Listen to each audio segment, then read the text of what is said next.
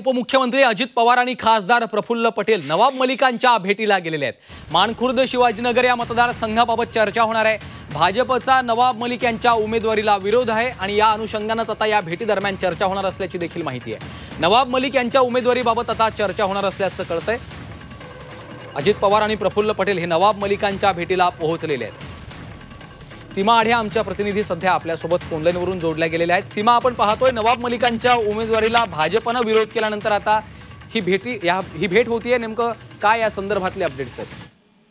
नक्की श्रीकांत आपण जर बघितलं तर अजित पवार गटाची पहिली आणि दुसरी यादी जी आहे ती जाहीर झालेली आहे. मात्र या दोन्ही यादीमध्ये विद्यमान आमदार असलेल्या नवाब मलिक यांचं नाव कुठेही बघायला मिळत नाही. मात्र दुसरीकडे भाजपचा नवाब मलिक यांच्या नावाला विरोध असल्याचं कळत आहे. त्यामुळे नवाब मलिक यांचं नाव अजूनही वेटिंग लिस्टवर आहे. स्वतः नवाब मलिक हे वेटिंग लिस्टवर आहेत.